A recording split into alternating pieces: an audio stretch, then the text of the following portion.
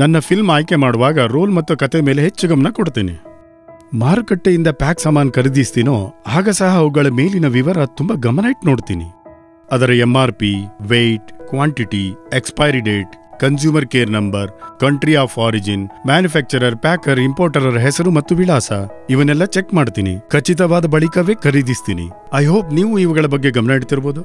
ಮತ್ತೆ ಇಡದಿದ್ರೆ ಇಡಬೇಕು. ಮತ್ತೆ ಏನಾದರೂ ಗೊಂದಲವಾದರೆ national consumer helpline number one nine one five ಮತ್ತೆ ಈ ದಾಖಲೆ ಪೋರ್ಟಲ್ ಇದೆಯಲ್ಲ? ನೆನಪಿಡಿ. Number one nine one five ಮತ್ತು ಈ ದಾಖಲೆ ಪೋರ್ಟಲ್ ನಾವು ಗ್ರಾಹಕರು, ಹಕ್ಕು ನಮ್ಮದು. ಎಚ್ಚರ ಗ್ರಾಹಕ, ಎಚ್ಚರ.